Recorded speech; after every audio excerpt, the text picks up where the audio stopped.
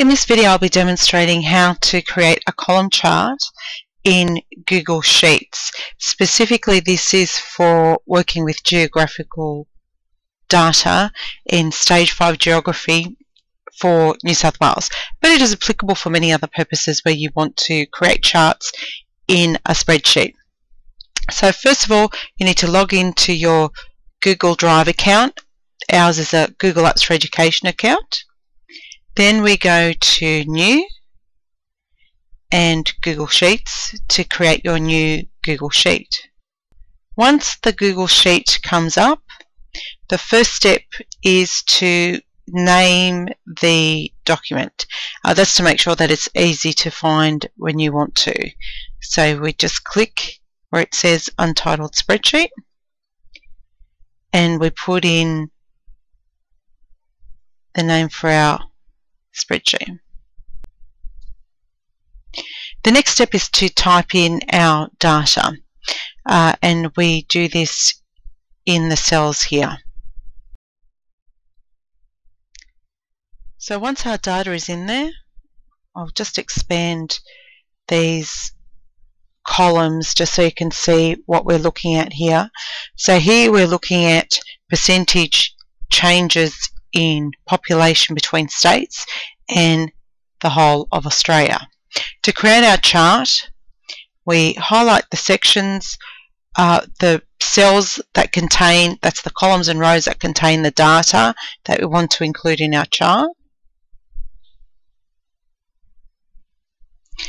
We then go to use the Insert Chart tool.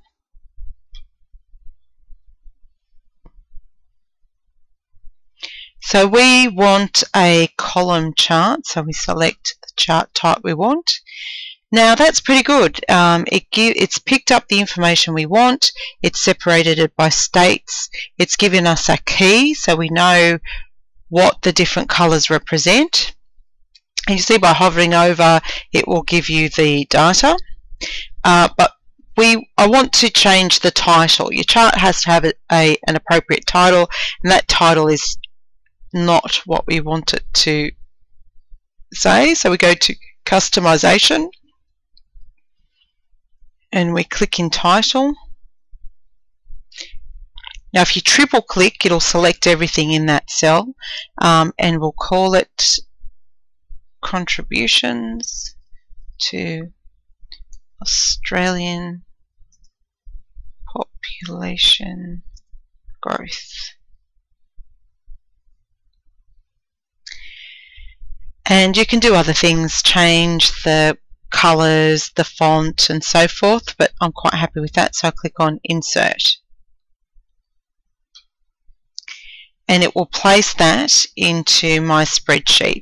From here I can move it, I can make it larger,